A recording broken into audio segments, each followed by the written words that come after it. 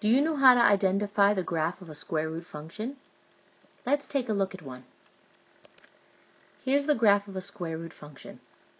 Now the first thing you'll notice is that this graph is a curve and not a straight line. The graphs of square root functions are curves. The second thing you'll notice is that it is positive. That's because you can't take the square root of a negative number. You can only take the square root of a positive number. It begins at a spot and it continues. The beginning spot is called the origin.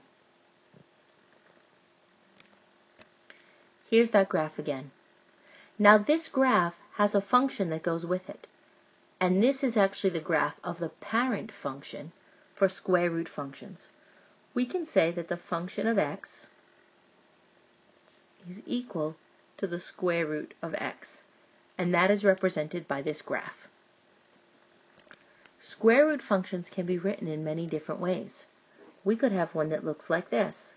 The function of x is equal to the square root of x plus 3. Or we might have one that says the function of x is equal to the square root of x minus 3. Or we could have one that says the function of x is equal to the square root of x plus 2 minus 3. All of these all of these functions are square root functions and they will all lead to a graph that is curved.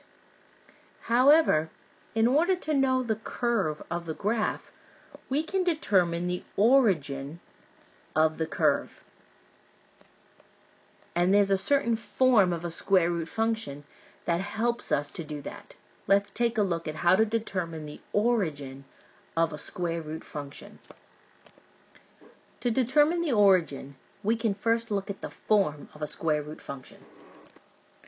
We can have the form of the function, the function of x is equal to the square root of x minus h plus k. And whatever values we have for h and k give us the coordinates for the origin. So let's look at the parent function once again. We have the function of x is equal to the square root of x. Now, in this case, you can see that there is no term here, and there is no k. We could put zeros in there. And so the origin is at 0, 0. Let's look at the graph for this function once again. Here it is again. Now you can see that this is true. The origin of this graph is right here. It's at 0, 0. Just like we could determine the origin by looking at the equation.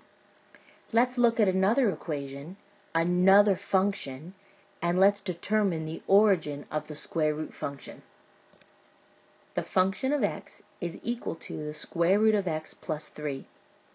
Now, here we have a value for k.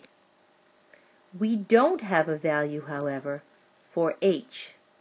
So we can say that we put 0 in for h and 3 in for k, and that the origin of the square root function is at 0, 3. What about this one? The function of x is equal to the square root of x minus 2 plus 4. Ah, now we have a value for h, and we have a value for k. So we put 2 in for h, and 4 in for k. And our origin is at 2, 4. By using this form of the square root function, we can easily determine the origin for our graph.